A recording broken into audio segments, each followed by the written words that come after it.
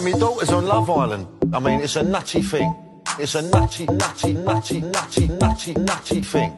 I've spent the last three weeks calling every contestant a brain dead zombie. Um, and obviously, that doesn't include your daughter. Just stop talking, Piers. Listen, it's entertainment, right? Big Brother and all that, right?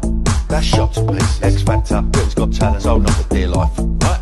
I mean, Love Island, there's a load of beautiful people trying to have sex with each other. Listen, Piers, it's a game show. 50 grand at stake, it's a lot of dough. Jeremy Corbyn, are you watching Love Island? No. 50 grand at stake, it's a lot of dough. And it ain't that bad, Piers. And Danny's gonna win it. And it ain't that bad, Piers. And Danny's gonna win it. Pamela, what do you watch of an evening? Oh, 50 grand at stake, it's a lot of dough. Go back to this whole Brexit thing. You know, you're judging them on, they don't know nothing about it. Who knows about Brexit? Who knows about Brexit? Brexit. No one knows what it is. It's like this mad riddle, riddle, riddle. So what's that to that twat David? Oh. How comes he can scuttle off it, call the shot? Yeah? yeah.